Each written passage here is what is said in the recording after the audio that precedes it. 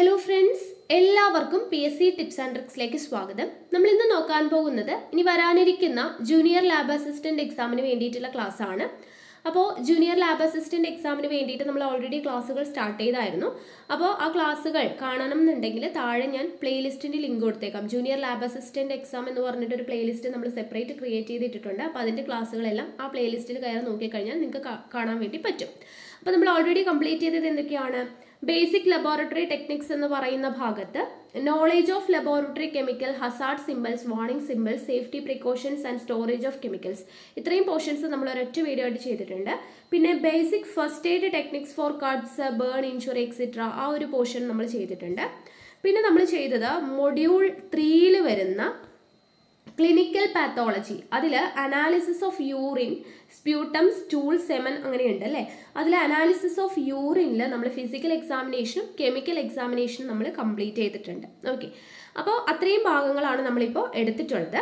ഇന്ന് നമ്മൾ നോക്കാൻ വേണ്ടി പോകുന്നത് ബേസിക് ലബോറട്ടറി ടെക്നിക്സ് എന്ന് പറയുന്ന ഭാഗത്ത് cleaning of glassware general glasswares new glasswares blood stained pipettes slides culture plates എന്ന് പറയുന്ന ഈ ഒരു ഭാഗം ഉണ്ടല്ലോ അതാണ് നമ്മൾ ഇന്നത്തെ ഈ ക്ലാസ്സിലൂടെ പഠിക്കാൻ വേണ്ടി പോകുന്നത്. അപ്പോൾ വളരെ ഇമ്പോർട്ടന്റ് ആയിട്ടുള്ള ഒരു ഭാഗം തന്നെയാണ് ക്ലീനിങ് ഓഫ് ഗ്ലാസ് വെയേഴ്സ് എന്ന് പറയുന്നത്. അപ്പോൾ ഈ ഒരു പോർഷൻ നമുക്ക് ഇന്നത്തെ വീഡിയോയിലോട്ട് പഠിക്കാം. അപ്പോൾ ഇതിന് മുന്നേയുള്ള ക്ലാസ്സുകൾ കാണാത്തവരുണ്ടെങ്കിൽ പ്ലേലിസ്റ്റിൽ കയറി ചെക്ക് ചെയ്ത് നോക്കി. ബാക്കി ക്ലാസ്സുകൾ കണ്ടതിന് ശേഷം ഈ ക്ലാസ്സിലോട്ട് വരിക കേട്ടോ. അപ്പോൾ എന്തായാലും നമുക്ക് ഇന്നത്തെ ക്ലാസ്സിലോട്ട് കടക്കാം. അതിന് മുന്നേ സബ്സ്ക്രൈബ് ചെയ്യാതെ ആരെങ്കിലും നമ്മുടെ വീഡിയോസ് കാണുന്നുണ്ടെങ്കിൽ ചാനൽ സബ്സ്ക്രൈബ് ചെയ്തേക്കുക. അപ്പോഴാണ് നമ്മൾ പുതിയ വീഡിയോസ് ഇടുമ്പോൾ നിങ്ങൾക്ക് കറക്റ്റായിട്ട് നോട്ടിഫിക്കേഷൻ വരത്തുള്ളൂ. വീഡിയോ കണ്ടിട്ട് ഇഷ്ടമായിട്ടുണ്ടെങ്കിൽ ലൈക്ക് ചെയ്യുക. നിങ്ങളുടെ സജഷൻസ് എന്താണെന്നുള്ളത് താഴെ കമന്റായിട്ട് കൂടെ അറിയിക്കാം അപ്പോൾ എന്തായാലും നമുക്ക് ക്ലാസ് സ്റ്റാർട്ട് ചെയ്യാം. അപ്പോൾ നോക്കുക. Cleaning of glassware for biochemical analysis ഇതാണ് നമ്മൾ നോക്കുന്നത് good laboratory technique demands clean glassware എന്താണ്? ആ നല്ലൊരു ലബോറട്ടറി ടെക്നിക് എന്ന് പറയുമ്പോൾ അവിടെ എന്താണ്? ഗ്ലാസ് വെയേഴ്സ് എന്ന് പറയുന്നത് ക്ലീൻ ആയിട്ടിരിക്കണം. നമ്മൾ എന്താണ്? ഗ്ലാസ് വെയേഴ്സ് എന്ന് പറയുമ്പോൾ ആ നമ്മൾ ഉപയോഗിക്കുന്ന പിപ്പറ്റ് അതുപോലെ തന്നെ എന്താണ്? ടെസ്റ്റ് ട്യൂബ് അങ്ങനെയുള്ള സംഭവങ്ങളൊക്കെ ഇല്ലേ അപ്പോൾ അങ്ങനെയുള്ള ഗ്ലാസ് വെയേഴ്സൊക്കെ വളരെ ക്ലീൻ ആയിട്ട് ഇരുന്നാലാണ് നമ്മുടെ നമ്മൾ ചെയ്യുന്ന കാര്യങ്ങളൊക്കെ പെർഫെക്റ്റ് ആയിട്ട് ഇരിക്കുള്ളൂ അല്ലേ? Test may lead to erroneous result if dirty glassware is used അപ്പോൾ നമ്മൾ ചീത്തയായിട്ടുള്ള ഗ്ലാസ് വെയേഴ്സ് ആണ് യൂസ് ചെയ്യുന്നത്. വൃത്തിയില്ലാത്ത ഗ്ലാസ് വെയേഴ്സ് ആണ് യൂസ് ചെയ്തതെന്ന് വെച്ച് കഴിഞ്ഞാൽ നമ്മൾ ചെയ്യുന്ന ടെസ്റ്റിന്റെ റിസൾട്ട് എന്തായിരിക്കും? അത് എറർ ആയിരിക്കും. അല്ലെ? തെറ്റിപ്പോവും. അല്ലെ? തെറ്റായിട്ടുള്ള ഒരു റിസൾട്ടാണ് നമുക്ക് കിട്ടത്തുള്ളൂ. The used glasswares should be washed with water immediately after use soak in mild detergent solution wash in running tap water and rinse with distilled water and dry എന്താണ്? നമ്മൾ ഒരിക്കൽ ആ എന്തെങ്കിലും ഒരു ടെസ്റ്റിന് വേണ്ടി യൂസ് ചെയ്യുന്ന ഗ്ലാസ് വെയേഴ്സ് എന്ത് ചെയ്യണം? Should be washed with water immediately പെട്ടെന്ന് തന്നെ നമ്മൾ ഉപയോഗിച്ചതിന് ശേഷം ആഫ്റ്റർ യൂസ് ഓക്കെ യൂസിന് ശേഷം പെട്ടെന്ന് തന്നെ നമ്മൾ വാട്ടർ ഉപയോഗിച്ച് വാഷ് ചെയ്യണം. പിന്നെ എന്ത് ചെയ്യണം? Soak in mild detergent solution mild detergent സൊല്യൂഷനിൽ കുറച്ച് നേരം മുക്കി വയ്ക്കണം wash in running tap water and rinse with distilled water and dry എന്താണ്? ആ അപ്പോൾ നമ്മൾ ആദ്യം വാട്ടർ ഉപയോഗിച്ച് കഴുകി അതിനുശേഷം മൈൽഡ് ഡിറ്റർജന്റ് സൊല്യൂഷനിൽ കുറച്ച് നേരം സോക്ക് ചെയ്ത് വെച്ചു. അത് കഴിഞ്ഞ് റണ്ണിങ് ടാപ്പ് വാട്ടറിൽ പൈപ്പ് വെള്ളത്തിൽ നന്നായിട്ട് വാഷ് ചെയ്യുക അത് കഴിഞ്ഞിട്ട് എന്ത് ചെയ്യണം? ഡിസ്റ്റിൽഡ് വാട്ടർ യൂസ് ചെയ്തിട്ട് റിൻസ് ചെയ്യണം. അതിനുശേഷം ഡ്രൈ ചെയ്യണം. ഓക്കെ ഇത്രയാണ് ശ്രദ്ധിക്കേണ്ട കാര്യങ്ങൾ ഇനി if labware is not cleaned immediately ഇനി സപ്പോസ് നമ്മൾ എന്തെങ്കിലും ഒരു ടെസ്റ്റ് ചെയ്തിട്ട് അത് ക്ലീൻ ചെയ്തിട്ടില്ല. പെട്ടെന്ന് തന്നെ നമുക്ക് ക്ലീൻ ചെയ്യാൻ പറ്റിയില്ല എന്ന് വിചാരിക്കാം. It may become impossible to remove the residues അതായത് നമ്മൾ എന്തെങ്കിലുമൊക്കെ ടെസ്റ്റ് ചെയ്ത് കഴിഞ്ഞാൽ അപ്പോൾ നമ്മൾ ടെസ്റ്റ് ട്യൂബിൽ ഇപ്പോൾ എന്തെങ്കിലുമൊക്കെ ചെയ്ത് കഴിഞ്ഞാൽ അവിടെ എന്തെങ്കിലുമൊക്കെ റെസിഡ്യൂസ് ഉണ്ടാവും അല്ലേ?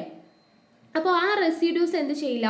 നന്നായിട്ട് പോകുമോ ഇല്ല. നമ്മൾ പെട്ടെന്ന് തന്നെ ക്ലീൻ ചെയ്തില്ലെങ്കിൽ അത് പോകത്തില്ല. അതിനകത്ത് തന്നെ പറ്റിപ്പിടിച്ചിരിക്കും such glasswares should be soaked in water or special cleaning solutions അപ്പോൾ അങ്ങനെയുള്ള കേസിലാണെന്നുണ്ടെങ്കിൽ നമ്മൾ പെട്ടെന്ന് തന്നെ യൂസ് ചെയ്തതും ഈ പറഞ്ഞതുപോലെ നമ്മൾ എന്ത് ചെയ്യണം? ആ വാട്ടർ ഉപയോഗിച്ച് പെട്ടെന്ന് കഴുകി ഡിറ്റർജന്റ് സൊല്യൂഷനിൽ സോക്ക് ചെയ്ത് റണ്ണിങ് ടാപ്പ് വാട്ടറിൽ പോയിട്ട് വാഷ് ചെയ്ത് ഡിസ്റ്റിൽഡ് വാട്ടർ വെച്ച് റിൻസ് ചെയ്ത് ഡ്രൈ ചെയ്ത് എടുത്തിട്ടില്ല എന്നുണ്ടെങ്കിൽ നമ്മൾ ഇങ്ങനെയുള്ള റെസിഡ്യൂസ് ഒക്കെ അതിലുണ്ടാവും. അപ്പോൾ അതിന് നമ്മൾ എന്ത് ചെയ്യണം? ആ നമ്മൾ കുറേ അധികം നേരം നമ്മൾ വാട്ടറിൽ സോക്ക് ചെയ്ത് വെക്കണം. അല്ലെങ്കിൽ സ്പെഷ്യൽ ക്ലീനിങ് സൊല്യൂഷൻസിൽ സോക്ക് ചെയ്ത് വെക്കണം കുറേ അധികം നേരം. ആ പ്രത്യേക സ്പെഷ്യൽ ക്ലീനിങ് സൊല്യൂഷൻസ് എന്ന് പറയുന്നത് എന്താണ്? Such as chromic acid solutions are suggested in the case of more dirty glasswares അപ്പം അങ്ങനെയുള്ള റെസിഡ്യൂസ് ഒക്കെ പോവാതിരിക്കുന്ന അല്ലെങ്കിൽ നമ്മൾ ക്ലീൻ ചെയ്യാൻ മറന്നിട്ടുള്ള അങ്ങനെയുള്ള ഗ്ലാസ് വെയേഴ്സ് ഒക്കെ ഉണ്ടെങ്കിൽ നമ്മൾ ഉപയോഗിക്കേണ്ട സ്പെഷ്യൽ ക്ലീനിങ് സൊല്യൂഷൻ ആണ് ക്രോമിക് ആസിഡ് സൊല്യൂഷൻ അതിന്റെ പേര് ഇമ്പോർട്ടന്റ് ആണ്. പഠിച്ചിരിക്കണേ. ക്രോമിക് ആസിഡ് സൊല്യൂഷൻസ് ആണ് നമ്മൾ യൂസ് ചെയ്യേണ്ടത്. ഓക്കെ ആണല്ലോ? അപ്പോൾ ഇത് പറയുമ്പോൾ തന്നെ നമുക്ക് മനസ്സിലാക്കി എടുക്കാൻ പറ്റുന്ന കാര്യങ്ങളേ ഉള്ളൂ. അതുകൊണ്ട് വീണ്ടും റിപ്പീറ്റ് ചെയ്ത് പറയുന്നില്ല. ഇനി അടുത്തത് നോക്കാം. Most new glasswares are slightly alkaline in reaction അതായത് നമ്മളിപ്പോൾ പുതിയതായിട്ട് വാങ്ങിക്കുന്ന ഒരു ഗ്ലാസ് വെയർ വിചാരിക്കുക. അതെങ്ങനെയായിരിക്കും? ആൽക്കലൈൻ ആയിരിക്കും. ഓക്കെ ആൽക്കലൈൻ റിയാക്ഷൻ ആണ് ഉണ്ടായിരിക്കുക. ആൽക്കലൈൻ ആയിരിക്കും എന്ത് ന്യൂ ഗ്ലാസ് വെയേഴ്സ് എന്ന് പറയുന്നത്. അപ്പം new glasswares should also be soaked in several hours in acid water a one percentage solution of hydrochloric or nitric acid before use അതായത് ഇപ്പോൾ നമ്മൾ പറഞ്ഞു ഗ്ലാസ് വെയേഴ്സ് ഡേർട്ടി ആണെങ്കിൽ നമ്മൾ ഉപയോഗിക്കുന്നതിന് മുന്നേ നമ്മൾ എന്ത് ചെയ്യണം? സ്പെഷ്യൽ ക്ലീനിങ് സൊല്യൂഷനിൽ മുക്കി വെക്കണം. ക്രോമിക് ആസിഡ് സൊല്യൂഷനിൽ മുക്കി വെക്കണം എന്ന് പറഞ്ഞു. ഇല്ലെങ്കിൽ നമ്മൾ ക്ലീൻ ചെയ്യണം. എന്താണ്? പെട്ടെന്ന് തന്നെ യൂസ് ചെയ്തതിന് ശേഷം തന്നെ ഇമ്മീഡിയറ്റ് ആയിട്ട് വാട്ടർ ഉപയോഗിച്ച് കഴുകണം. പിന്നെ നമ്മൾ പറഞ്ഞ കുറേ പ്രോസസ്സ് പറഞ്ഞല്ലേ? അപ്പോൾ അതൊക്കെ നമ്മൾ ചെയ്യണം എന്ന് പറഞ്ഞു. ഇനി പുതിയ ഗ്ലാസ് വെയേഴ്സ് ആണ്. നമുക്ക് ഇപ്പോൾ ലാബിലോട്ട് പുതിയതായിട്ട് കൊണ്ടുവന്നതാണ്. പുതിയതല്ലേ? അപ്പോൾ നമുക്കത് ഡയറക്റ്റ് ആയിട്ട് അതിൽ പൊടിയൊന്നും ഉണ്ടാവത്തില്ലല്ലോ എന്ന് പറഞ്ഞ് നമ്മൾ ഡയറക്റ്റ് ആയിട്ട് ഉപയോഗിക്കാൻ പറ്റുമോ? ഇല്ല. പുതിയ ഗ്ലാസ് വെയേഴ്സ് സ്ലൈറ്റ്ലി എന്താണ്? ആൽക്കലൈൻ ആയിരിക്കും. അപ്പോൾ അങ്ങനെ ആൽക്കലൈൻ ആയതുകൊണ്ട് തന്നെ നമ്മൾ പുതിയ ഗ്ലാസ് വെയേഴ്സ് ആണെങ്കിലും കുറേ അധികം നേരം നമ്മൾ എന്ത് ചെയ്യണം? ആസിഡ് വാട്ടറിൽ സോക്ക് ചെയ്ത് വെക്കണം. സെവറൽ അവേഴ്സ് കുറേ മണിക്കൂറുകൾ നമ്മൾ ആസിഡ് വാട്ടറിൽ സോക്ക് ചെയ്ത് വെക്കണം. ഏത് ആസിഡ് വാട്ടർ ആണ്? അപ്പോൾ അവിടെ നമുക്കൊരു ചോദ്യം കിട്ടി. എന്താണ്? ആ ന്യൂ ഗ്ലാസ് വെയേഴ്സ് ഏത് സൊല്യൂഷനിലാണ് നമ്മൾ സോക്ക് ചെയ്ത് വെക്കേണ്ടത് one percentage solution of hydrochloric or nitric acid nitric acid അല്ലെങ്കിൽ ഹൈഡ്രോക്ലോറിക് ആസിഡിന്റെ വൺ പെർസെന്റേജ് സൊല്യൂഷനിലാണ് നമ്മൾ സോക്ക് ചെയ്ത് വെക്കേണ്ടത് കിട്ടിയല്ലോ? അടുത്തത് pipettes should be placed in a vertical position with the tips up in a jar of cleaning solution എന്ത് ചെയ്യണം? ആ പിപ്പറ്റ്സ് എന്താണെന്ന് എല്ലാവർക്കും അറിയാലോ. നമ്മളിങ്ങനെ മൗത്ത് വെച്ച് പിപ്പറ്റ് ചെയ്ത് എടുക്കൂലേ അതാണ് പിപ്പറ്റ് എന്ന് പറയുന്നത്. പിപ്പറ്റ് എന്ന് പറയുന്നത് പലതരത്തിലുള്ള പിപ്പറ്റ്സ് ഉണ്ട് കേട്ടോ. അപ്പോൾ ഇവിടെ pipette should be placed in a vertical position ആ വെർട്ടിക്കൽ പൊസിഷനിലാണ് പിപ്പറ്റ് വയ്ക്കേണ്ടത്. With the tips up in a jar tips എവിടെയായിരിക്കണം?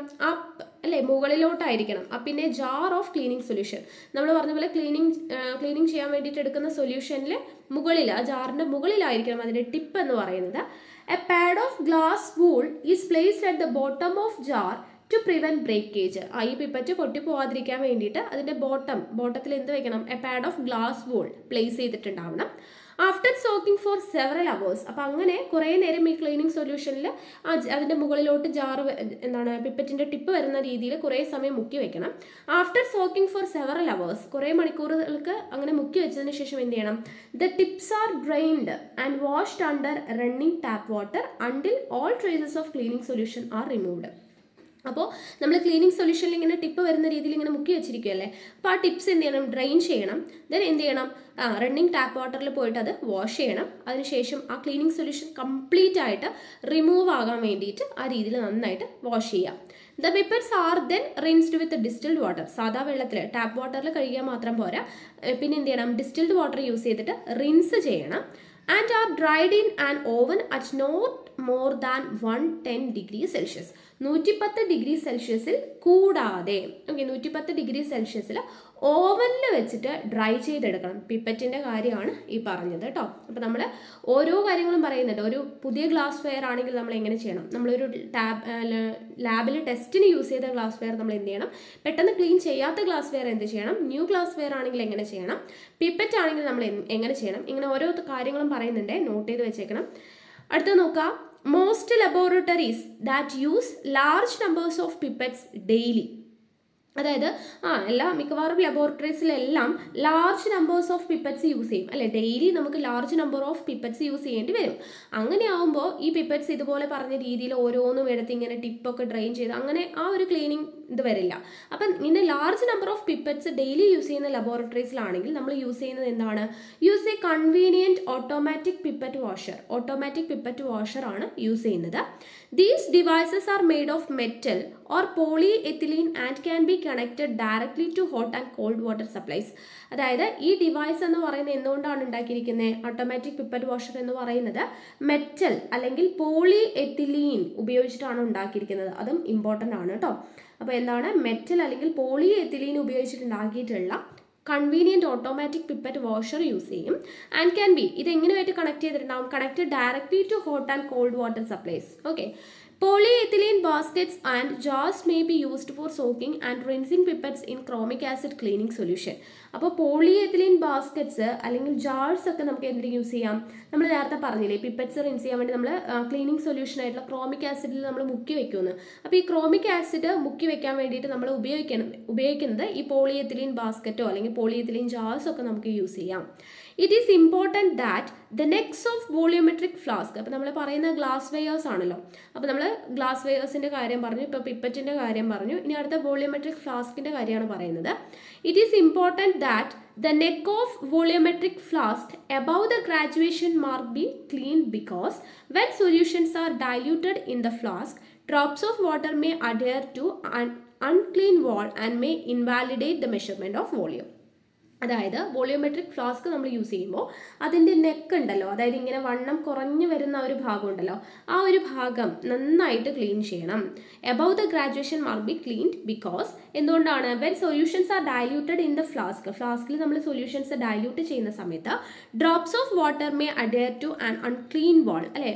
അത് നന്നായിട്ട് ക്ലീൻ ചെയ്തിട്ടില്ലെങ്കിൽ ആ സൊല്യൂഷൻ എന്താണ്? ആ അൺക്ലീൻഡ് ആയിട്ടുള്ള ബോളിലേക്ക് വരും അല്ലേ? അതുമായിട്ട് കണക്ഷൻ വരും. അപ്പോൾ and wall may and may invalidate the measurement of volume നമ്മൾ വോളിയം മെഷർ ചെയ്യുന്ന സമയത്ത് അത് കറക്റ്റായിട്ട് കിട്ടില്ല. ഓക്കെ അതുകൊണ്ടാണ് നമ്മളതിന്റെ എന്താണ് നെക്ക് വോളിയോമെട്രിക് ഫ്ലാസ്കിന്റെ നെക്ക് നന്നായിട്ട് ക്ലീൻ ചെയ്യണമെന്ന് പറയുന്നത്. ഓക്കെ ആണല്ലോ? അപ്പോൾ ഇത്രയാണ് നമുക്ക് ക്ലീനിങ് ഓഫ് ഗ്ലാസ് വെയേഴ്സ് എന്ന് പറയുന്ന ഈ ഒരു സെക്ഷനിൽ നമുക്ക് പഠിക്കാനുള്ളത് കേട്ടോ വളരെ സിമ്പിൾ ആയിട്ടുള്ളൊരു ടോപ്പിക്കാണ് കുറച്ച് കാര്യങ്ങളെ പഠിക്കാനുള്ളൂ. പക്ഷേ ഇമ്പോർട്ടന്റ് ആയിട്ടുള്ള കാര്യങ്ങൾ തന്നെയാണ്. അപ്പോൾ നമുക്ക് ജസ്റ്റ് ഒന്ന് ഓടിച്ച് പറയാം അല്ലേ? ക്ലീനിങ് ഓഫ് ഗ്ലാസ് വെയേഴ്സ് എന്ന് പറയുന്നത് ലബോറട്ടറി ടെക്നിക്സിൽ വളരെ ഇമ്പോർട്ടന്റ് ആയിട്ടുള്ളൊരു റോൾ ഉണ്ട്. കാരണം എന്താണ്? നമ്മൾ നല്ല രീതിയിൽ ഗ്ലാസ് വെയേഴ്സ് ക്ലീൻ ചെയ്യാതെ ഡേർട്ടി ആയിട്ടുള്ള ഗ്ലാസ് വെയേഴ്സ് യൂസ് ചെയ്ത് കഴിഞ്ഞാൽ നമ്മൾ ചെയ്യുന്ന റിസൾട്ട് എന്ന് പറയുന്നത് നമുക്ക് കിട്ടുന്ന റിസൾട്ട് എന്ന് പറയുന്നത് എറർ ആയിരിക്കും കിട്ടുന്നുണ്ടാവുക. അപ്പോൾ നമ്മൾ എന്ത് ചെയ്യണം? ഗ്ലാസ് വെയേഴ്സ് നന്നായിട്ട് വാഷ് ചെയ്യണം. എങ്ങനെ? നമ്മൾ ഉപയോഗിച്ചതിന് ശേഷം പെട്ടെന്ന് തന്നെ നല്ല വാട്ടറൊക്കെ യൂസ് ചെയ്തിട്ട് കഴുകണം. അതിനുശേഷം ഏതെങ്കിലും മൈൽഡ് ഡിറ്റർജന്റ് സൊല്യൂഷനിൽ സോക്ക് ചെയ്ത് വെക്കണം. അത് അതിനുശേഷം റണ്ണിങ് ടാപ്പ് വാട്ടറിൽ വാഷ് ചെയ്യണം. ഡിസ്റ്റിൽഡ് വാട്ടർ യൂസ് ചെയ്തിട്ട് റിൻസ് ചെയ്യണം. പിന്നെ ഡ്രൈ ചെയ്യണം. ഇനി ലാബ് വെയർ എന്ന് പറയുന്നത് നമുക്ക് പെട്ടെന്ന് എന്താണ് പെട്ടെന്ന് തന്നെ ഇത് ഉപയോഗിച്ചതിന് ശേഷം ക്ലീൻ ചെയ്യാൻ പറ്റിയില്ല എന്നുണ്ടെങ്കിൽ നമ്മൾ എന്ത് ചെയ്യണം? അതിൽ ഉണ്ടാവുന്ന റെസിഡ്യൂസ് റിമൂവ് ചെയ്യാൻ വേണ്ടിയിട്ട് സ്പെഷ്യൽ ക്ലീനിങ് സൊല്യൂഷനിൽ സോക്ക് ചെയ്ത് വെക്കണം. അതിനുവേണ്ടി യൂസ് ചെയ്യുന്ന സ്പെഷ്യൽ ക്ലീനിങ് സൊല്യൂഷൻ ഏതാണ്? ക്രോമിക് ആസിഡ് സൊല്യൂഷനാണ് നമ്മൾ യൂസ് ചെയ്യുന്നത്. ഇനി പുതിയ ഗ്ലാസ് വെയേഴ്സ് ആണ്. നമ്മൾ പുതിയതായിട്ട് വാങ്ങി ഉപയോഗിക്കുന്ന ഗ്ലാസ് വെയേഴ്സ് ആണെങ്കിൽ അത് ആൽക്കലൈൻ ആയിരിക്കും. അപ്പോൾ അങ്ങനെയാണെന്നുണ്ടെങ്കിൽ നമ്മൾ എന്ത് ചെയ്യണം? അത് കുറേ മണിക്കൂറുകൾക്ക് one percentage solution of hydrochloric acid അല്ലെങ്കിൽ നൈട്രിക് ആസിഡ് സൊല്യൂഷനിൽ സോക്ക് ചെയ്ത് വെക്കണം എന്ന് പറഞ്ഞു. ഇനി പിപ്പറ്റ് ആണെങ്കിലോ പിപ്പറ്റ് ആണെങ്കിൽ അത് വെർട്ടിക്കൽ പൊസിഷനിൽ ക്ലീനിങ് സൊല്യൂഷൻ നിറച്ചിട്ടുള്ള ജാറിന്റെ മുകൾ ഭാഗത്ത് അതിന്റെ ടിപ്പ് വരുന്ന രീതിയിൽ വെർട്ടിക്കലായിട്ട് വെച്ചിട്ട് പിന്നെ എന്ത് ചെയ്യണം? അതിന് ബ്രേക്കേജ് ഉണ്ടാവാതിരിക്കാൻ വേണ്ടി പാഡ് ഓഫ് ഗ്ലാസ് വൂൾ അത് ബോട്ടമായിട്ട് പ്ലേസ് ചെയ്ത് വെക്കണം. അതിനുശേഷം ഇങ്ങനെ സോക്ക് ചെയ്യുക. കുറേ മണിക്കൂറുകൾ സോക്ക് ചെയ്തതിന് ശേഷം അതിന്റെ ടിപ്സ് എന്ത് ചെയ്യണം? ഡ്രെയിൻ ചെയ്യണം. റണ്ണിങ് ടാപ്പ് വാട്ടർ യൂസ് ചെയ്ത് വാഷ് ചെയ്യണം. അതിനുശേഷം അതിന്റെ ക്ലീനിങ് സൊല്യൂഷനൊക്കെ പോകുന്ന അത്രയും രീതിയിൽ നന്നായിട്ട് റിമൂവ് ചെയ്ത് കഴുകി കളയുക അതിനുശേഷം എന്ത് ചെയ്യുക? ഡിസ്റ്റിൽഡ് വാട്ടർ യൂസ് ചെയ്തിട്ട് റിൻസ് ചെയ്യുക. ദെൻ ഓവനിൽ വെച്ചിട്ട് നൂറ്റിപ്പത്ത് ഡിഗ്രി സെൽഷ്യസിൽ അത് എന്ത് ചെയ്യണം? ഡ്രൈ ചെയ്തിട്ട് എടുക്കണം. പിന്നെ എന്താണ് ലാർജ് നമ്പർ ഓഫ് പിപ്പറ്റ്സ് ഒക്കെ ഡെയിലി യൂസ് ചെയ്യുന്ന ലബോറട്ടറി ആണെന്നുണ്ടെങ്കിൽ നമ്മൾ എന്ത് ചെയ്യണം ഒരു convenient automatic pipette washer use ചെയ്തിട്ടാണ് നമ്മൾ വാഷ് ചെയ്യുക. പിപ്പറ്റ് വാഷർ ഉപയോഗിച്ച് ഉണ്ടാക്കിയിരിക്കുന്നത് എന്തുകൊണ്ടാണ് മെറ്റൽ അല്ലെങ്കിൽ പോളി എത്തിലീൻ ഉപയോഗിച്ചിട്ടാണ് ഉണ്ടാക്കിയിരിക്കുന്നത്. ഈ പോളി എത്തിലീൻ ബാസ്ക്കറ്റ് അല്ലെങ്കിൽ ജാർസ് നമുക്ക് എന്ത് യൂസ് ചെയ്യാം ഈ ക്ലീനിങ് സൊല്യൂഷനിൽ അല്ലെ ക്രോമിക് ആസിഡിലൊക്കെ സോക്ക് ചെയ്ത് വെക്കാൻ വേണ്ടി പോളി എത്തിലീൻ ബാസ്ക്കറ്റ്സ് ഒക്കെ നമുക്ക് യൂസ് ചെയ്യാവുന്നതാണ്. പിന്നെ പറഞ്ഞത് വോളിയോമെട്രിക് ഫ്ലാസ്കിന്റെ കാര്യമാണ് അതിന്റെ നെക്കൊക്കെ നല്ല രീതിയിൽ നമ്മൾ കഴുകി കളഞ്ഞില്ല എന്നുണ്ടെങ്കിൽ നന്നായിട്ട് ക്ലീൻ ചെയ്തിട്ടില്ല എന്നുണ്ടെങ്കിൽ നമ്മൾ എന്താണ് ഫ്ലാസ്കിൽ ഡൈല്യൂട്ടഡ് സൊല്യൂഷനൊക്കെ ഒഴിക്കുന്ന സമയത്ത് ആ അതിൽ എന്താണ് അൺക്ലീൻ ആയിട്ടുള്ള വോളിലൊക്കെ തട്ടുന്ന സമയത്ത് നമ്മുടെ വോളിയം മെഷർ ചെയ്യുന്ന സമയത്ത് നമുക്ക് തെറ്റായിട്ടായിരിക്കും കിട്ടുന്നുണ്ടാവുക. ഓക്കെ ആണല്ലോ? അപ്പോൾ ഇത്രയാണ് ക്ലീനിങ് ഓഫ് ഗ്ലാസ് വെയർസ് എന്ന് പറയുന്നത് ഇതിൽ നമുക്ക് പഠിക്കാനുള്ളത്. അപ്പോൾ ഇത് നിങ്ങൾക്ക് നന്നായിട്ട് മനസ്സിലായെന്ന് വിചാരിക്കുന്നു. അപ്പോൾ നമ്മൾ എടുക്കുന്ന ക്ലാസ്സുകളൊക്കെ നല്ല രീതിയിൽ മനസ്സിലാവുന്നുണ്ടോ എന്നുള്ള കാര്യം നിങ്ങളൊന്ന് ജസ്റ്റ് താഴെ കമന്റ് ചെയ്യണേ. നിങ്ങൾ ക്ലാസ് എടുക്കുന്നത് മനസ്സിലാവുന്നുണ്ടോ? ഈ രീതിയിൽ തന്നെ ക്ലാസ് മതിയോ അപ്പോൾ നിങ്ങളുടെ സജഷൻസ് ഒക്കെ നമ്മൾ വായിക്കുന്ന സമയത്താണ് നമ്മൾ ക്ലാസ്സുകളിൽ എന്തെങ്കിലുമൊക്കെ വ്യത്യാസം വരുത്തണോ? ഏത് രീതിയിലെങ്കിലും മാറ്റം വരുത്തണോ എന്നൊക്കെ നമ്മൾ തീരുമാനിക്കുന്നത്. ഓക്കെ അപ്പോൾ ഇതിന്റെ മുൻവർഷ ചോദ്യങ്ങൾ നമ്മൾ ജൂനിയർ ലാബ് അസിസ്റ്റന്റിന്റെ മുൻവർഷ ചോദ്യങ്ങളും അനുബന്ധ വിവരങ്ങളും ഒരു പാർട്ട് വീഡിയോ ചെയ്തിട്ടുണ്ടായിരുന്നു.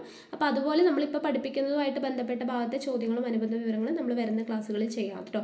ഓക്കെ അപ്പോൾ എന്തായാലും നമുക്ക് അടുത്ത ക്ലാസ്സിൽ കാണാം. ഇപ്പോൾ ഇതിന്റെ പി ഡി എഫ് ഞാൻ എന്താണ് ടെലഗ്രാമിൽ ഇട്ട് തന്നേക്കാം. നമ്മൾ കഴിഞ്ഞ ക്ലാസ്സിന്റെ പി ഡി എഫ് ഇട്ട് തന്നിട്ടില്ല.